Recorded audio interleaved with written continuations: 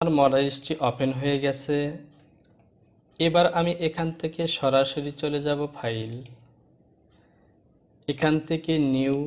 নিউতে আমি আমার স্টাইল নাম্বারটি টাইপ করব। তো আমার স্টাইল নাম্বারটি হলো ডাব্লিউ ডি এলপি তেষট্টি পঁচাশি। এবার আমি এখান থেকে ইন্টার ক্লিক করলাম। এখানে দেখতে পাচ্ছেন আমার মডেল নাম্বারটি চলে এসেছে। আমি আবারও চলে যাব ফাইলে। ফাইল থেকে সরাসরি চলে যাব নিচের দিকে অ্যাক্সেস পাথ তো এই অ্যাক্সেস পাথ অপশনটিতে ক্লিক করলাম। উপরের লাইনে ফাঁকা জায়গায় একটি ক্লিক করব। তো ক্লিক করার সঙ্গে সঙ্গে নিচের দিকে দেখতে পাচ্ছেন ব্রাউজার ফর ফোল্ডার। এই ব্রাউজার ফর ফোল্ডার থেকে আমি আমার সেই স্টাইল নাম্বার দেওয়া ফোল্ডারটি খুঁজে নেব।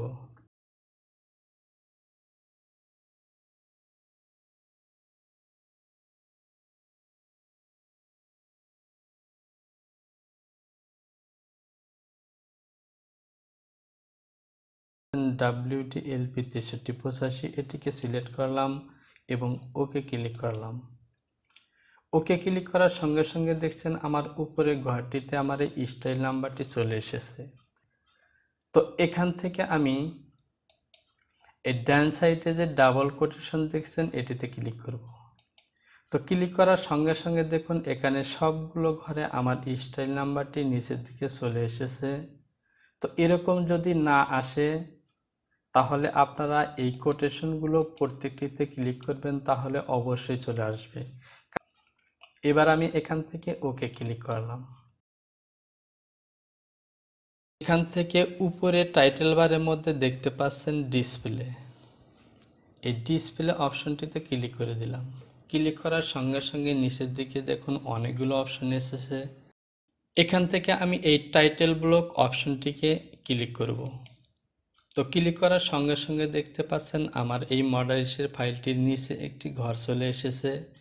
এবার আমি আবারও ডিসপ্লে যাব এবং ডিসপ্লে থেকে এই সাইজ এই অপশনটিতে ক্লিক করে দেব। তো ক্লিক করার সঙ্গে সঙ্গে দেখতে পাচ্ছেন আমার এই মডেল ফাইটের বাম সাইডে নেইম অন নামে একটি অপশন চলে এসেছে। তার নিচে আছে seven, eight, nine, ten, eleven thirty, twelve এবং থার্টি। এই অপশনগুলো মূলত সাইজ টেবিল। আমরা যদি আমাদের পার্সোনাল পিসি বাদ দিয়ে নতুন কোনো পিসিতে কাজ করতে যাই, বিশেষ করে যদি কোথাও ইন্টারভিউ দিতে যাই, তাহলে প্রাথমিক পর্যায়ের কাজগুলো করে নেওয়ার পর আমরা এখান থেকে সরাসরি চলে যাব প্যারামিটার।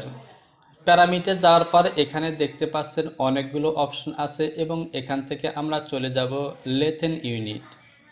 এই লেথেন ইউনিট থেকে যখন আপনার মাউসটিকে একটু ডান দিকে নিয়ে যাবেন,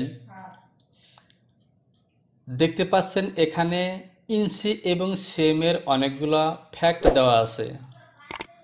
তো এখান থেকে আপনার রিকোয়ারমেন্টটি যদি ইঞ্চির মাপে হয়, তাহলে আপনি ইঞ্চিতে বেশ কয়েকটি ঘর আছে। এখান থেকে আপনি যেই অপশনটিতে কাজ করতে স্বাচ্ছন্দ্য বোধ করেন, সেই অপশনটি সিলেক্ট করে দেবেন। আর যদি সেটি সিএমএ মেজারমেন্ট শিট দেওয়া থাকে, তাহলে সিএমএও বেশ কয়েকটি অপশন আছে। এখান থেকে আপনি যেটিতে কাজ করতে স্বাচ্ছন্দ্য বোধ করেন, সেটি সিলেক্ট করে দিবেন। আমরা জাস্ট এখান থেকে প্যারামিটারে ক্লিক করব। প্যারামিটারে ক্লিক করার পর নিচের দিকে লক্ষ্য করুন, লেখা আছে স্কেল এই স্কেল অপশনটি বরাবর যখন আপনার মাউসটিকে ডান সাইডে নেবেন, তখন এখানে আরেকটি অপশন চলে আসবে।